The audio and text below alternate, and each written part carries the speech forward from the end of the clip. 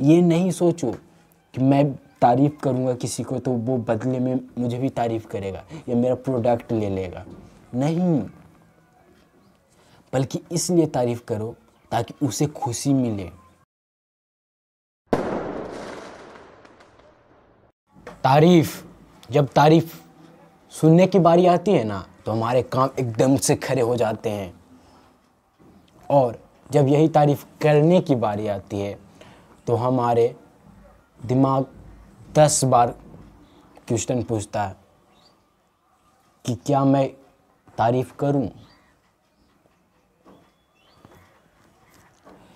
आपने मुन्ना भाई MBBS movie देखे थे उसमें क्या हुआ था कि संजय दत्त जो थे, वह एक झाड़ू देने वाले को तारीफ़ किए थे अब इसका क्या रिज़ल्ट आया कि वह झाड़ू देने वाला अंत तक मुन्ना भाई को सपोर्ट किए थे, संजय दत्त को सपोर्ट किए थे। सिर्फ़ एक छोटी सी तारीफ़। तो यह हमारी ज़िंदगी में कितना इम्पोर्टेंट है। हम यूट्यूबर भी क्या चाहते हैं? कि मेरे कमेंट में मेरी तारीफ़ आए। हम सभी लोग चाहते हैं कि हमें लोग तारीफ़ करें। तारीफ़ भी ना, दो प्रकार के होते हैं। एक तो चापलूसी, जो कि आप जानते हैं मूवी में जो दिखाया जाता है। एकदम गुंडे के पीछे चार पाँच चापलूसी होते हैं, चापलूस करने वाले होते हैं। उनके मुँह पर बहुत तारीफ़ करते हैं। और एक होते हैं रियलिटी, जो सच्चाई को देखते हुए जो सच्ची तारीफ़ करते हैं। तो मैं ये नहीं बोल रहा हूँ कि आप चापलूसी करो किसी को।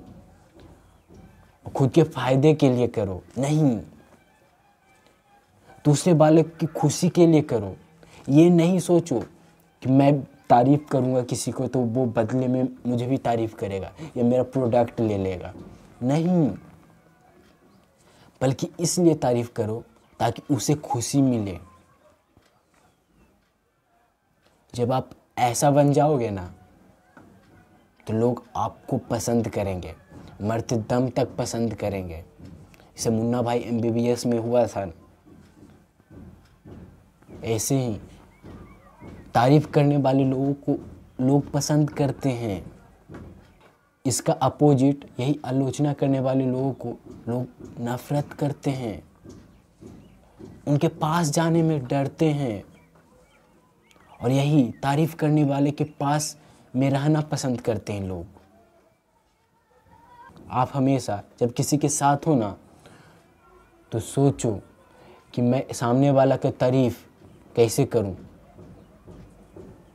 कोई ऐसा जो ड्रेस पहने हुए है बढ़िया, या उसका बोलने का तरीका बहुत बढ़िया लगा आपको। ये बाल हेयर कट कुछ भी, जब आप ये सब ऑब्ज़र्व करना चालू कर दोगे ना तो आप इस दुनिया को एक अलग नज़रिए से देखोगे।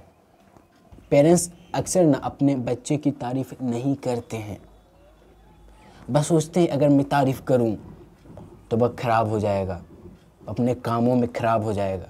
लेकिन नहीं वह और इंक्रीज होगा और बेल्ड होगा। वो कैसे? मैं ना ये कहीं लिखा हुआ पढ़ा था या तो कहीं सुना था। अमेरिका में एक टीचर थी, जिसने एक एक्सपेरिमेंट किया। क्लासरूम में जो सबसे कम पढ़ने वाला लड़का था, उसे ना पूरा क्लासरूम का लीडर बना दिया। और अक्सर उसे उठाकर उसकी तारीफ़ करते हैं। और यह बोलते कि वह पढ़ने में बहुत अच्छा है। इससे हुआ क्या है पता? जो उनके क्लास टीचर हैं, वह जैसा एक्सपेक्ट कर रहे हैं, वैसा बनने की कोशिश करने लगा वह बच्चा।